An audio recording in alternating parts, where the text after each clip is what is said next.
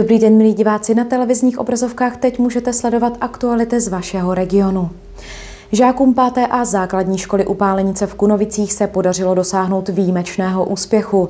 Zadařilo se jim v soutěži Zlatý oříšek, která vyznamenává mimořádné dětské počiny.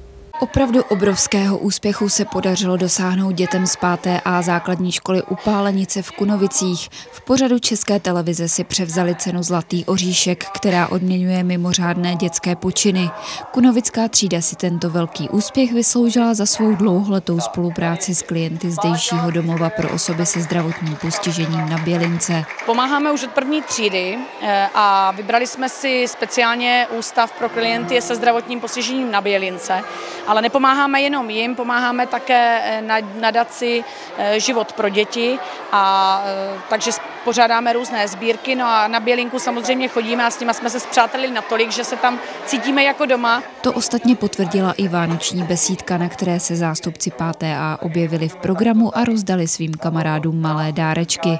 Porotu Zlatého oříšku ale zřejmě zaujal výlet, který pro obyvatele Bělinky děti sami nachystali. Zajímavé na tom bylo to, že ty děti po celý rok v matematice a v jiných předmětech počítali a vlastně zaobírali se tím výletem, takže sami si volali, sami psali fakturu, museli si za paní účetní zajít, sami napsali objednávku na autobus a vlastně taky sami hlídali ty klienty z Bělinky, nebo hlídali, prostě sami s nimi strávili odpoledne. Samozřejmě my jsme e, dospělí, dozorovali, ale myslím si, že to byl možná ten, e, to největší gro e, pro tu porotu. Děti za své snažení tedy získali sošku se zlatým oříškem. Velkou odměnou pro ně ale byl nepochybně už samotný pobyt v televizi a přítomnost na natáčení. Setkali se přitom třeba s Jirkou Mádlem nebo Danielou Písařovicovou, kteří přenos moderovali. Zjistili jsme, že Jirka Mádl je nám velmi nakloněný, protože myslím, že s nikým nekomunikoval natolik, jak teda s našimi dětmi. Eh, Daniela Písařovicová taktéž. Eh, myslím, že naše děti prokázali i eh, kus inteligence, protože oni sami šli, poprosili, vyfotili se a paní Rašková, která je ředitelka nadace Zlatý oříšek, eh, tak ona stále eh, nám tam se klaněla nad tou naší prací. Kromě dětí je ale výhra trofeje velkou odměnou i pro učitele nebo rodiče, kteří tak vidí, že jejich snaha nepřichází v niveč. Je to báječné proto, protože vidíte, že eh, to, co čtyři roky tady děláte, tak má smysl a že ty děcka vám to dokážou vrátit právě tou pomocí těm druhým. Dům pro osoby se zdravotním postižením v Kunovicích na Bělince získal velký vánoční dárek. Jedná se o zbrusu nový automobil, na který přispěli firmy z okolí. V minulém týdnu se na nádvoří Panského dvora v Kunovicích sešla řada zástupců firm z regionu, ale také představitelé domova pro osoby se zdravotním postižením z Kunovické Bělinky. Hlavním objektem zájmu všech přítomných bylo zbrusunové auto, které Bělinka získala díky aktivitě jedné reklamní agentury a ochotě zdejších úspěšných firm. Ty se totiž na novou dáčiu, která pomůže zdravotně postiženým, složili. Já jsem zhruba před třemi a půl lety, když jsem tak pátral, protože my máme sice jedno autíčko devítimístné, které potřebujeme velice, ale už má 17 let, což si myslím, že je dost, tak jsem pátral po nějakých dalších možnostech, jak obnovit náš vozový park. Jak už tady říkal dneska pan ředitel, tak s financemi normálními na tuto otázku je to dosti těžké, tak jsem tehdy objevil společnost Kompa, která po celé republice vlastně zhání díky sponzorům, kteří přispějí na reklamu na autíčko, takováto sociální auta. Nové vozítko využije Bilinka nejen na dopravu svých klientů, ale i na nezbytné zásobování. Od nového a menšího auta si domov slibuje i úsporu na pohoných hmotách. Já věřím, že se mě společnými silami s naším ředitelstvím i podporou dalších sponzorů, které mám, podaří v příštím roce tu naši babičku už 18 letou v příštím roce také inovovat a tak, abychom mohli bezpečně jezdit a vozit naše klienty, ať už na ozdravné akce, na různé fakultativní výlety, ale i na další věci spojené s fungováním našeho zařízení. Bělinka tak získala těsně před vánočními svátky zřejmě ten největší dárek, který dobře poslouží zaměstnancům i klientům. U Bud ve Vlčnově vzniklo 11 odpočinkových míst a u dvou z nich už stojí sochy. Zatím poslední je dřevěný klarinetista, kterému v budoucnu bude dělat společnost dalších devět muzikantů. Dřevěná socha klarinetisty v nadživotní velikosti 19. prosince vyzdobila jedno z odpočinkových míst před Vlčnovskými bůdami. Stala se tak součástí projektu putování po Vlčnovských vinohradech s muzikantama. Lidé se totiž často vydávají na procházky po nedávno spevněných cestách.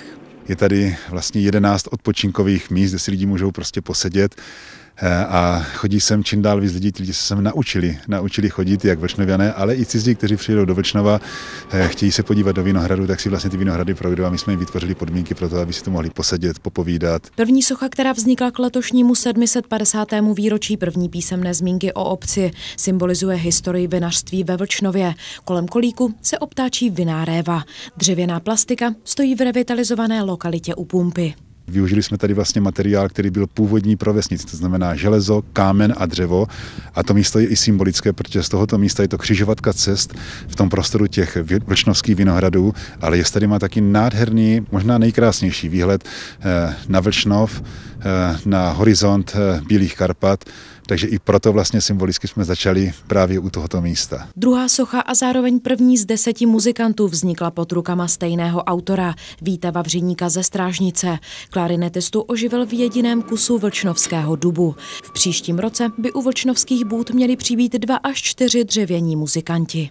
Ty muzikanty jsme volili, zvolili záměrně, zas to má nějakou spojovací nic z historií tady tohoto prostoru, protože tady v těch minulých časech e, u té jedné bůdy e, býval taneční parket a v neděli tam přišli muzikanti Dechovka a lidi z Vlšnova si tam v neděli odpoledne došli dát pivko, zaspívat si, zatančit si a tak to je taková spojovací nit vlastně s tím, co už tu bohužel dneska třeba není.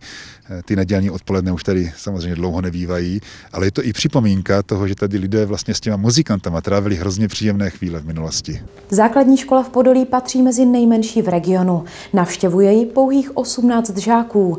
Na vánoční besídce to ale nebylo poznat. Děti si připravili pestrý program. Každý rok připravuje základní škola v Podolí vánoční program pro rodiče svých žáků.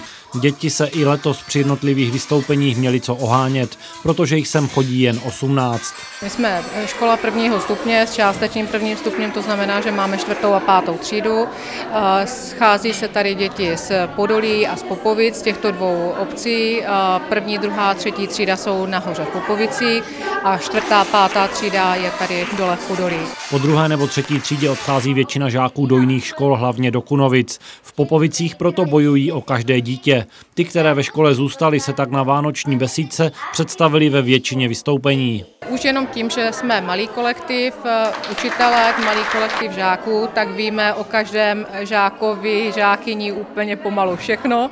Je to individuální přístup, jsou tady různé kroužky, různé e, zajímavé akce, snažíme se pro ty děti uspořádat vždycky něco jiného, nového. Vánoční pásmo obsahovalo třeba salzu nebo břišní tance. Nechyběly básničky ani písničky a to dokonce v angličtině. Koledy zaspívali malí čertíci. Já jsem připravila čertovské pásmo, protože letos naše děti trošku peklily, tak jsem si říkala, že nebudeme nic andílkovatého, tak to byli čertíci. No a závěr to bylo takové šité horkou jehlou, to jsme získali jednu takovou písničku, která se mě zdála taková být dobrou perličkou na závěr, aby to trošku vygradovalo, takže to byla taková uh, koleda do dopis Ježíškovi.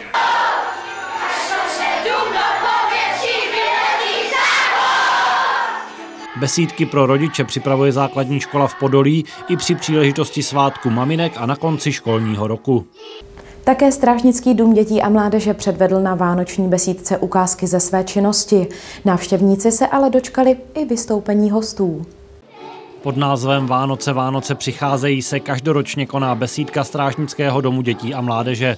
Také letos se její návštěvníci v Domě kultury dočkali ukázek z činnosti kroužků, které v domečku působí. Děti chodí do kroužku od října, kdy začínáme všechny kroužky a budeme tam i třeba cvičení s Míšou, mažoretky, eh, aerobik je tam, je tam i Danájek, který spadá taky pod nás, pod Dům dětí a mládeže Strážnice.